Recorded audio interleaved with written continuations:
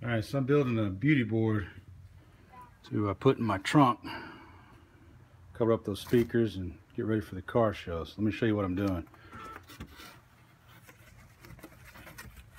Making out a template here. It's gonna fit just like this.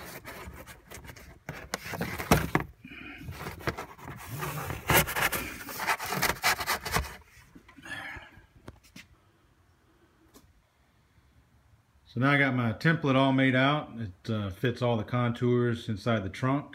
And uh, basically just followed the edges as much as I could, cut my holes for the speakers. And uh, now I'm gonna lay my template on my beauty board and cut everything out. I've got everything uh, cut out. my circles for my speakers etched across a uh, center line. This is where I'm gonna put my pony at.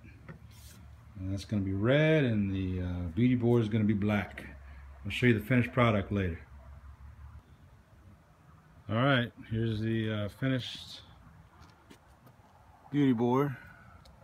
All that's left to do is uh, have it painted.